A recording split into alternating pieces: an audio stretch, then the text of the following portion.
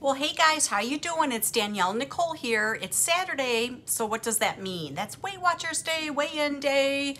Um, I just got home just a little bit ago. Um, today I went to the 10 o'clock meeting, dropped my daughter off at work, went to the 10 o'clock meeting, stopped at Starbucks, and went to Trader Joe's again to get a refresh on some of the things that we loved last week, such as the shrimp burgers. We love the shrimp burgers with the garlic sauce.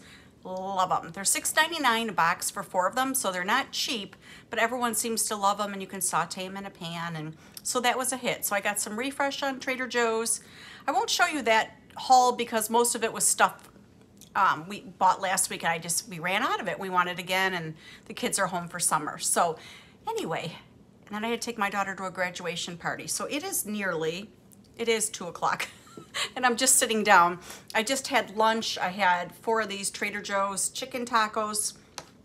So I have one left. So dipping it in that salsa verde sauce. So I thought I better eat lunch really quick before I do my video. And I'm still out of breath because I've been running, but I wanted to tell you how my weigh-in went. You know, sometimes YouTubers make you wait till the end of the video to tell you the weight. I'm not doing that. Most, most of my friends and everyone doesn't do that. So I'm not gonna do that either. If you wanna watch my whole video, you can watch it if you want. but I do have some good tips for you about my meeting after my weigh-in. So how did I do on the scale this week? I'm gonna put it right here.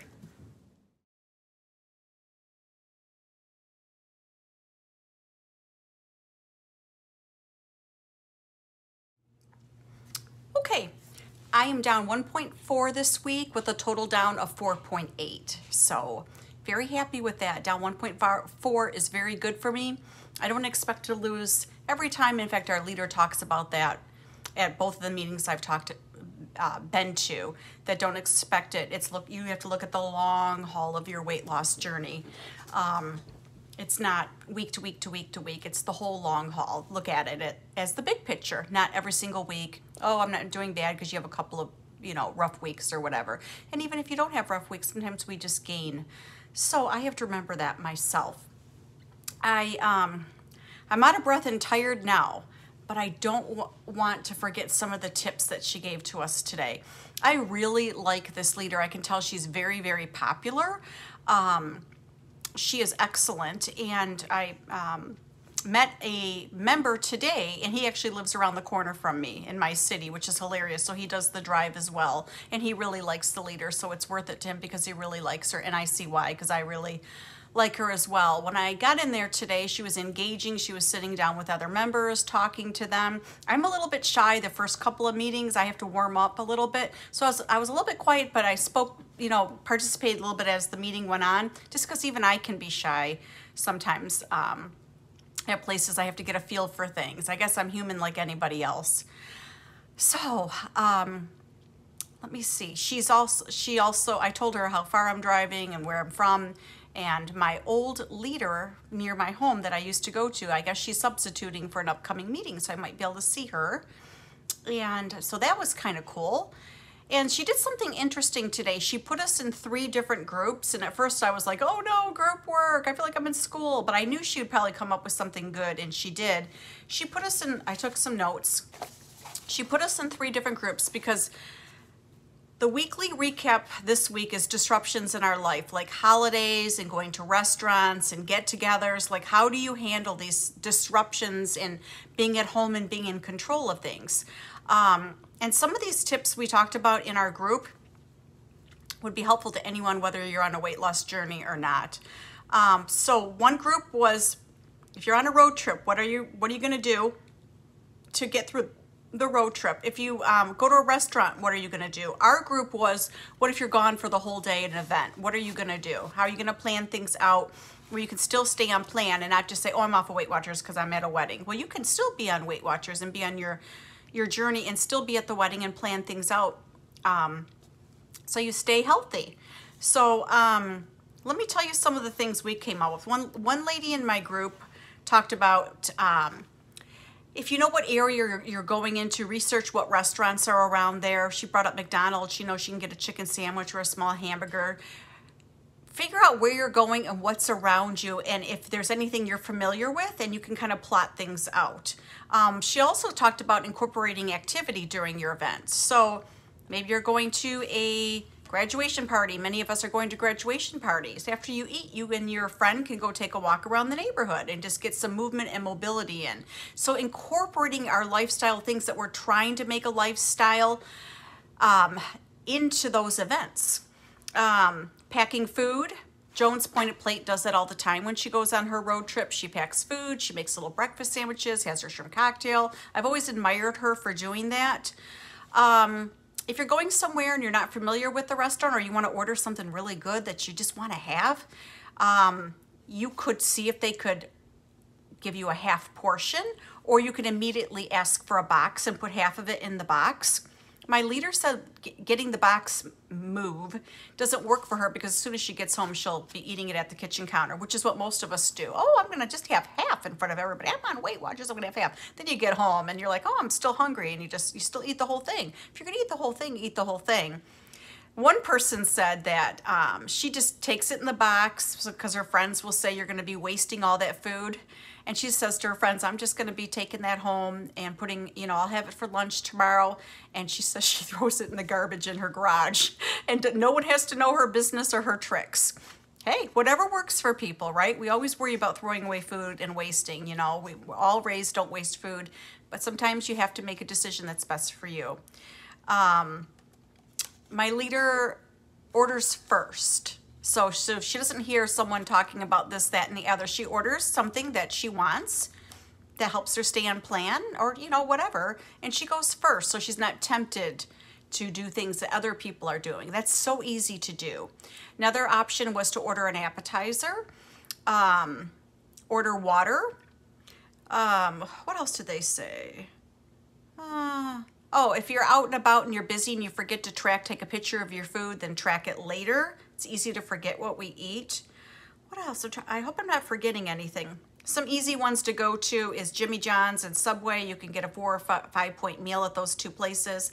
That's why we do Jimmy John's a lot on a Friday when I do Weight Watchers on Saturday. So everyone's happy and, and I get my unwich and all is good. Although we haven't done that in the last two weeks. Um, what else do we talk about? Packing grapes, they're easy to have and handy to have. A protein um, our leader talked about how, you know, have snacks in your car with you. She went to a gas station and was going to get this little protein box type of thing. It would have been 17 points. But if she brought her own cheese stick, her own turkey stick, and some grapes and stuff, she could have had it for just a couple of points instead. So healthy, but still got that look of what she would have gotten at that gas station, which would have cost more as well. So the the week, well, she mentioned again, her only rule is that you don't quit. She just says this plethora of stuff. Like I started writing things down on this folder today um, just to remember some of these things she was saying. But just planning for disruptions. We have a lot of disruptions. You know, we have Father's Day tomorrow, out to eat for breakfast. You know, I've already thought about that. Um, just ways to be able to enjoy your life and make this a lifestyle and not a four letter word. And I'm not going to say that word you guys all know that four letter word, but making it a lifestyle where we stay healthy. And just going to this ladies' meetings, I thought to myself the whole time, even if you're not on Weight Watchers or you're not, you don't need to lose any weight and you're healthy and everything, what you're doing is working for you. I'm telling you, going to her meetings was really, I thought, who couldn't learn from this? I felt like I was taking in so much and learning so much. And I think that's why I, when I when I kind of do it on my own, I don't do as well because it's easy to flub this, flub that, change the weigh-in date. I mean, I'm just not real motivated or self-motivated. And so these meetings really pump me up. Um, she said something else, a nearby center is closing and all those people are gonna be shunted over to our meetings in that area on Saturdays and things like that. So she's anticipating some of those people are gonna show up next week kind of upset just kind of like how I was upset at first. I mean, a lot of people are at Weight Watchers because they're taking away meetings. So I guess that's going to happen to a nearby city. Um, their they um, the rent was too high, and you know it just wasn't profitable, and you know they're losing leaders in this and that, and um, they're going to be coming over to our meeting, so we've got to welcome them and everything. But we're going to gain one evening during the week, so that's good. So I will now have an evening um, meeting that I could go to. So, um, yeah, so it was, I felt very excited when I left there. I felt good when I went there. They still have the recipe cards. I let my husband see it. It was for like a steak burger recipe on a card today. It's in the other room. Um, but I get my recipe cards and um, I had my coffee there and it takes me about a half hour to get there in the morning. Coming back is a way bigger journey because um, I stop at Trader Joe's or it's just worse traffic. Today, going to the later meeting made it harder for me to get back because of traffic, but I can always go to the earlier meeting depending on what's happening in our lives. So bottom line, guys, I made the right decision. I have work for now paying for my um, uh, monthly meetings. I'm paying for gas and things like that and my time to go out there. That's on me. Um, but I definitely made the right decision. Is it easy to go out there? Is it quite the journey? It is, but it's also time for myself in the car. I can listen to my music. I can have my coffee. I can do a little grocery shopping and things like that. Is it a little wear and tear in my car? Yeah, it is. But um, I I feel very inspired by this leader. I like her just as much as my last leader. They're they're both phenomenal. I can tell that they're very loved and treasured.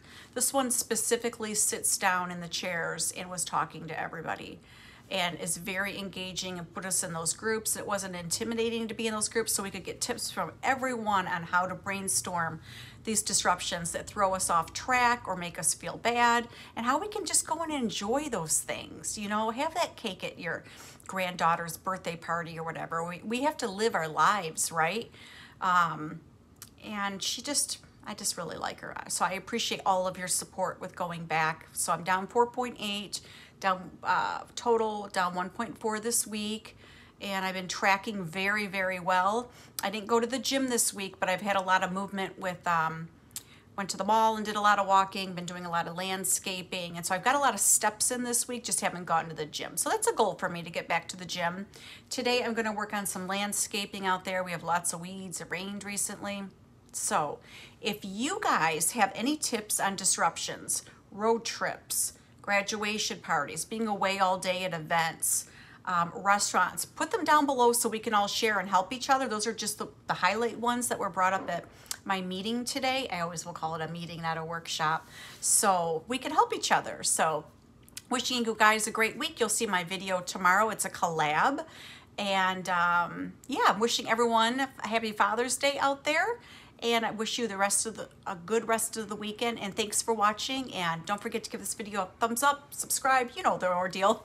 If you have uh, know anyone that will enjoy this, go ahead and share. And you guys have a great week. And I'll see you soon. Bye, honey bunnies.